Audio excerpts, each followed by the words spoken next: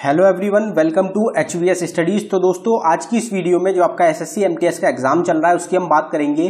तो आपकी जो तीनों शिफ्ट रहेंगी, उनके लिए most expected most repeated questions को आज हम इस वीडियो में कवर करेंगे। ये सभी जो क्वेश्चंस होंगे, सभी एग्ज़ाम बेस्ड क्वेश्चंस होंगे। जिस तरीके के क्वेश्चन जिस पैटर्न पे आपके क्वेश्चंस एमटीएस के एग्ज़ाम्स में पूछे जा रहे हैं, उसी टाइप पे आपको ये क्वेश्चन प्रोवाइड कराए गए हैं। अगर आपने अभी तक हमारे चैनल को सब्सक्राइब नहीं किया तो चैनल को ज़रूर सब्सक्राइब कर लें। वीडियो पसंद आए तो वीडियो को लाइक करें शेयर करें। तो चलिए वीडियो को स्टार्ट करते हैं, देखते हैं पहला क्वेश्चन क्या है।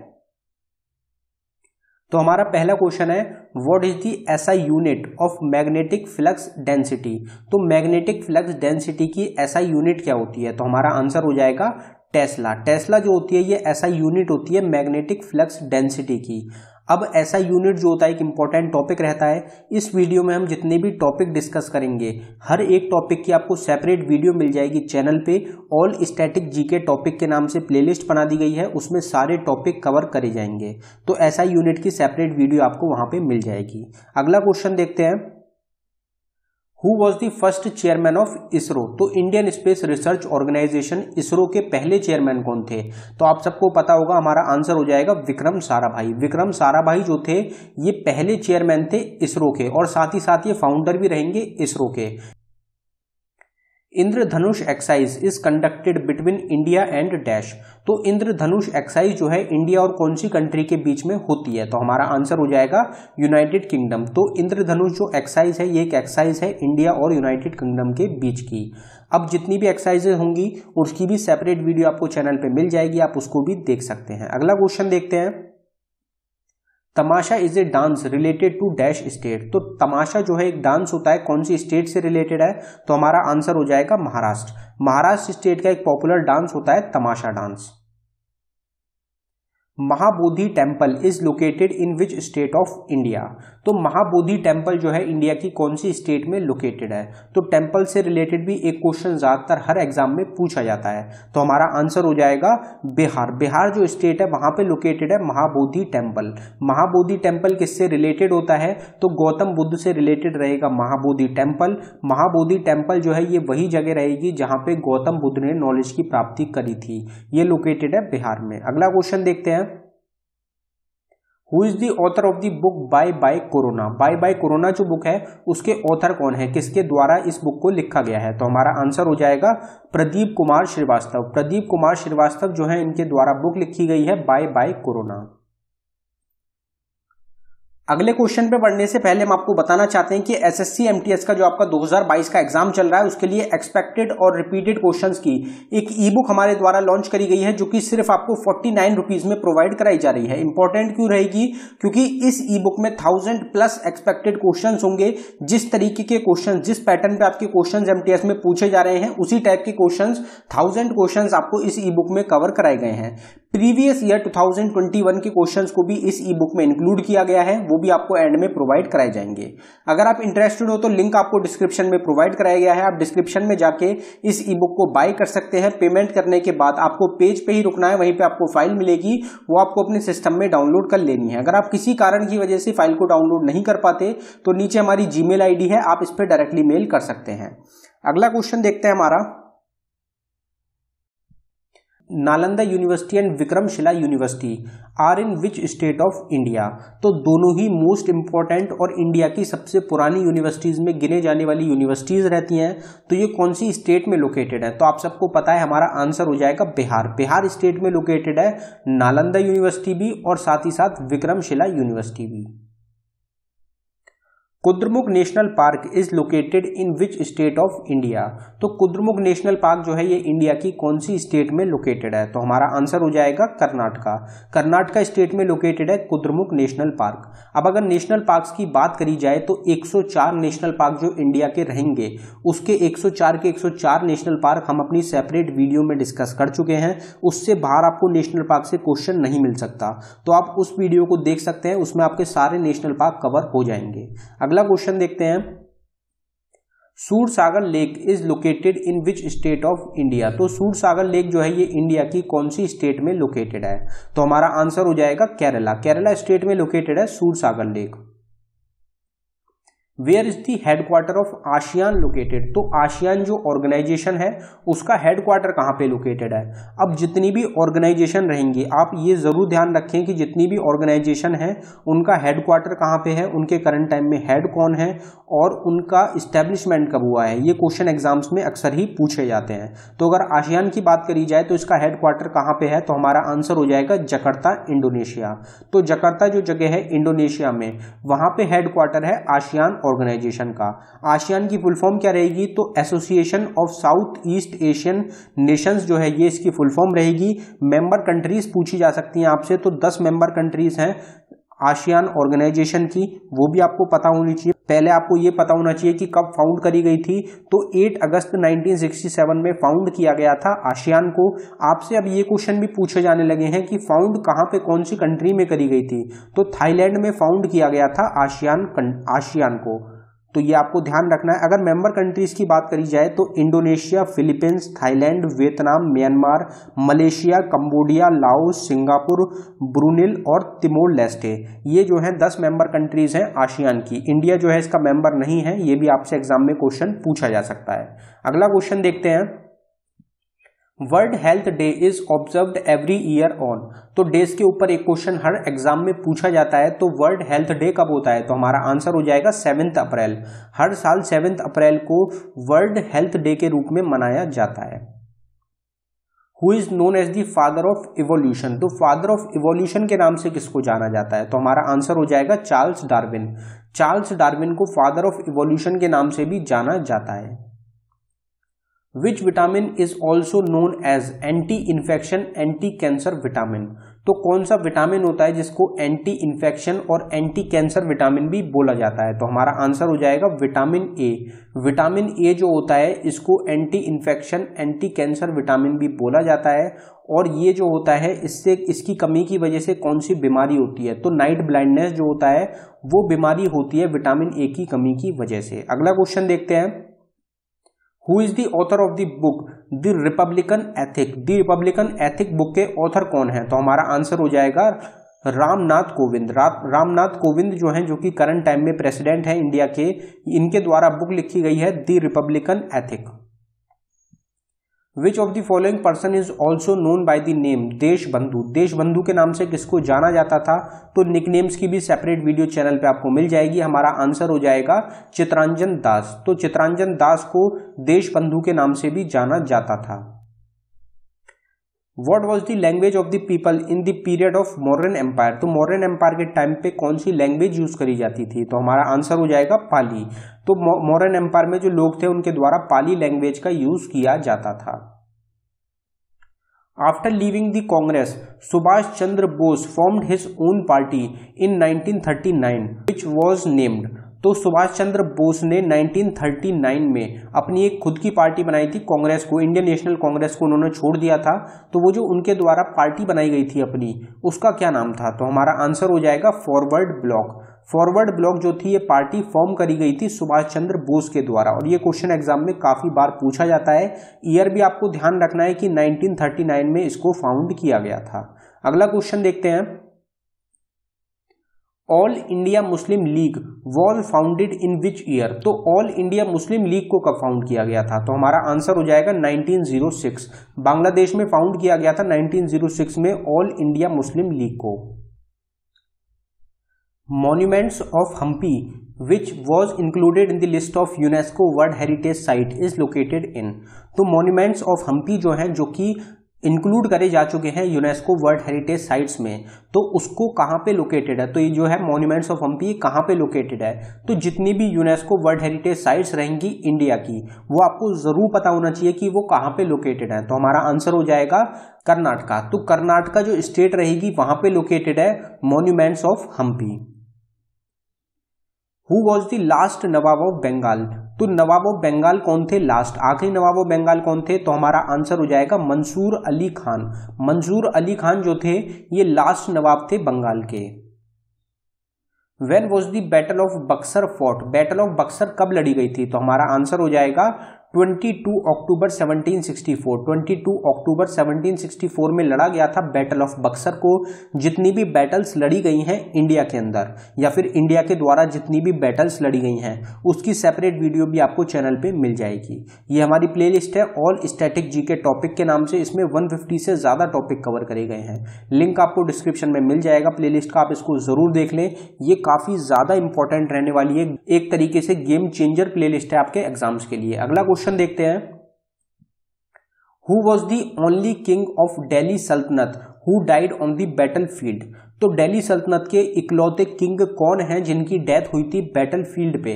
बैटल फ़ील्ड पे जिनको मार दिया गया था। तो हमारा आंसर हो जाएगा इब्राहिम लोधी तो लोधी वंश के जो आखिरी रूलर थे इब्राहिम लोधी ये इकलौते किंग रहेंगे डेली सल्तनत के जिनकी बैटल फ़ील्ड पे डेथ हुई थी। और किसके द्वारा इनको मारा गया था? तो बाबर के द्वारा इनको मारा गया था। अगला क्वेश्चन देखते हैं। Who is called frontier Gandhi frontier Gandhi के नाम से किसको जाना जाता था तो हमारा आंसर हो जाएगा खान अब्दुल गफार खान। आप सबको पता ही है खान अब्दुल गफार खान कौन है? खान अब्दुल गफार खान जो है, ये पहले नॉन इंडियन हैं, जिनको कि इंडिया के सबसे हाईएस्ट ऑनर भारत रत्न से, भारत रत्न से सम्मानित किया गया था। ये आपको पता होना चाहिए, पाकिस्तान कंट्री के रहेंगे, इनको फ्रंटियर गांधी के नाम से जाना जाता था। Quit India movement was launch by Mahatma Gandhi in Mahatma Gandhi के द्वारा क्विट इंडिया मूवमेंट को लॉन्च किया गया था। कब किया गया था? तो हमारा आंसर हो जाएगा 1942 बेसिक क्वेश्चन रहता है लेकिन महात्मा गांधी के द्वारा जितने भी मॉन्यूमेंट्स लीड करे गए हैं या पार्ट लिया गया है, वो कब इस्टेब्लिश हुए, कब फाउंड किए गए, ये आप ध्यान रखें। महात्मा गांधी साउथ अफ्रीका से इंडिया 1915 में आए थे, उसके बाद 1915 से लेके 1947 तक जितने भी आंदोलन में महात्मा गांधी के द्वारा पार्ट लिया गया है, उनके ईयर आपको ज़रूर ध्यान रखने हैं एग्ज़ाम्स में पूछे जाते हैं। अगला क्वेश्चन देखते हैं।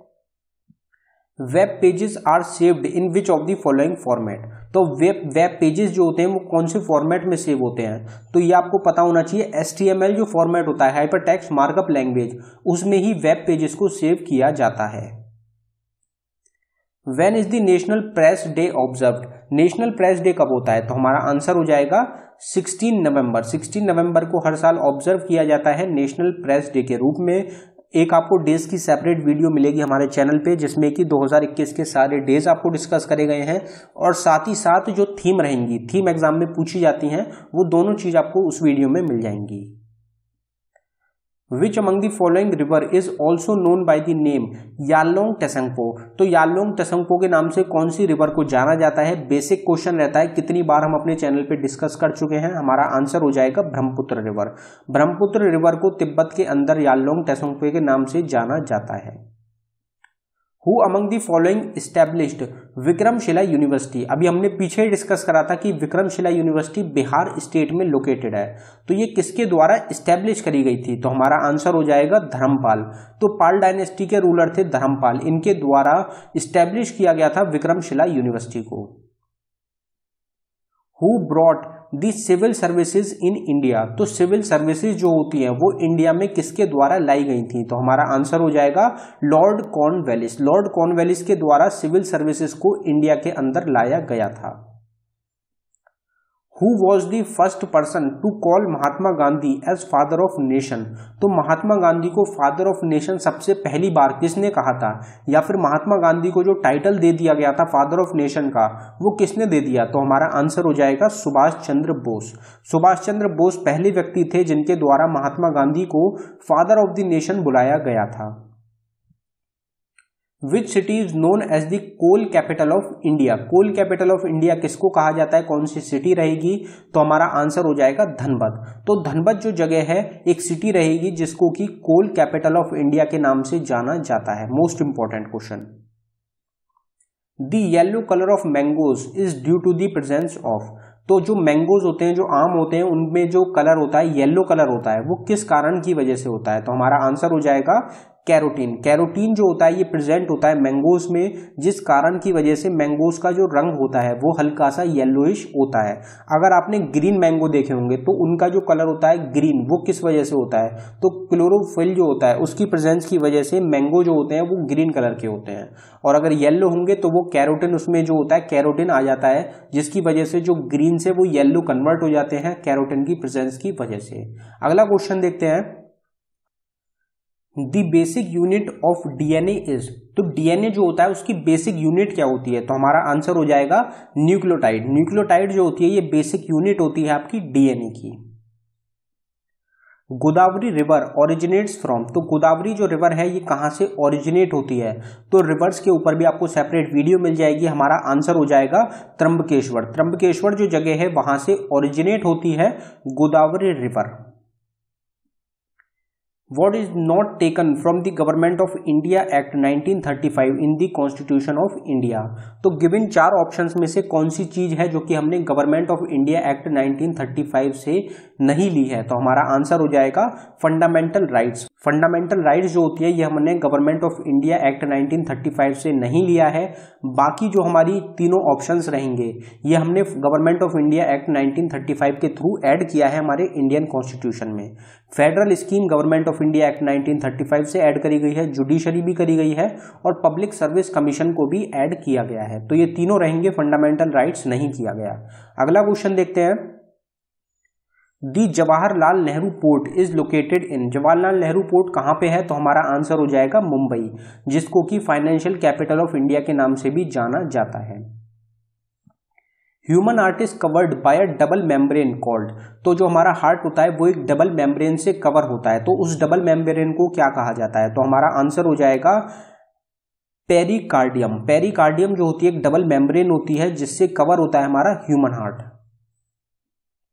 Shipki La pass is located in which state of India और यूनियन टेरेटरी तो हमारा आंसर हो जाएगा हिमाचल प्रदेश हिमाचल प्रदेश जो स्टेट है इंडिया की, वहाँ पे लोकेटेड है शिपकी ला पास तो पासिस की भी सेपरेट वीडियो आपको चैनल पे ऑलरेडी प्रोवाइड कराई जा चुकी है, जिसमें सारे पासिस इंडिया के अंदर, जितने भी पासिस हैं, वो कौन सी स्टेट में लोकेटेड हैं, ये हमने डिस्कस करे हैं। अगला क्वेश्चन देखते हैं। Which gas is also known as stranger gas कौन सी गैस को स्ट्रेंजर गैस बोला गया है? तो हमारा आंसर हो जाएगा जिनॉन जिनॉन गैस को स्ट्रेंजर गैस भी बोला जाता है। The sitting of the parliament is presented over by तो प्रेसिडेंट कौन होते हैं जो ज्वाइंट सिटिंग होती है पार्लियामेंट की, उसको प्रिसाइड कौन करता है, उसको हेड कौन करता है? तो हमारा आंसर हो जाएगा speaker of Lok Sabha speaker of Lok Sabha जो होते हैं, ये हेड होते हैं ज्वाइंट सिटिंग के पार्लियामेंट की। करंट टाइम में कौन है? तो ओम बिरला जो है, वो करंट टाइम में स्पीकर हैं लोकसभा के। Which of the following dams has been built on the river Krishna तो कृष्णा जो रिवर है, उसके ऊपर कौन सा डैम बना हुआ है? तो हमारा आंसर हो जाएगा नागार्जुन सागर डैम नागार्जुन सागर डैम जो है, ये बना हुआ है कृष्णा रिवर के ऊपर. कौन सी स्टेट में रहेगा? तो हमारी आंध्र प्रदेश स्टेट रहेगी और तेलंगाना. दोनों के बॉर्डर पे पाया जाता है नागार्जुन सागर डैम को. तो दोनों स्टेट्स में से जो भी आपको ऑप्शन मिलेगा, वो आपका करेक्ट आंसर हो जाएगा. कृष्णा रिवर आपको ज़रूर ध्यान रखनी है. डैम्स की रिवर एग्ज़ाम्स में काफ़ी ज़्यादा पूछे जाने लगी हैं. अगला क्वेश्चन देखते हैं. In which state is Bhimbetka cave located तो भिम्बेटका केव्स जो हैं, वो कहाँ पे लोकेटेड हैं? तो हमारा आंसर हो जाएगा मध्य प्रदेश। अब काफ़ी सारी केव्स होती हैं। भिम्बेटका केव हो गई मध्य प्रदेश स्टेट में। अजंता केव्स हो गई इलोरा केव्स हो गई एलिफेंटा केव्स हो गई, ये कहाँ पे लोकेटेड है? तो ये लोकेटेड है महाराष्ट्र स्टेट में। तो ये क्वेश्चन आपसे एग्ज़ाम में अक्सर देखने को मिलते हैं। अगला क्वेश्चन देखते हैं। Duleep trophy is related to which of the following sport Duleep trophy कौन से स्पोर्ट से रिलेटेड है? तो हमारा आंसर हो जाएगा क्रिकेट क्रिकेट जो स्पोर्ट है, उससे रिलेटेड होती है, एक ट्रॉफी रहेगी Duleep trophy. Dongri festival is celebrated in which state of India तो डोंगरी फेस्टिवल कहाँ पे सेलिब्रेट किया जाता है? तो हमारा आंसर हो जाएगा हिमाचल प्रदेश. तो हिमाचल प्रदेश स्टेट का ही एक इंपॉर्टेंट फेस्टिवल रहता है, Dongri festival which of the following is the ore of mercury mercury का ओर क्या होता है? तो आप सबको पता होगा, ये question most important most repeated question है। तो हमारा आंसर हो जाएगा सिनेबर सिनेबर जो होता है, ये एक ओर होता है मरकरी का। Who gave the slogan back to the Vedas किसके द्वारा कहा गया था बैक टू दी वेदास तो हमारा आंसर हो जाएगा दयानंद सरस्वती। दयानंद सरस्वती के द्वारा स्लोगन दिया गया था back to the Vedas election of the president is given in which among the following article तो प्रेसिडेंट जो होते हैं, उनका जो इलेक्शन होता है, वो कौन से आर्टिकल में बताया गया है? तो हमारा आंसर हो जाएगा आर्टिकल 54 तो आर्टिकल 54 में बताया गया है प्रेसिडेंट के इलेक्शन के बारे में।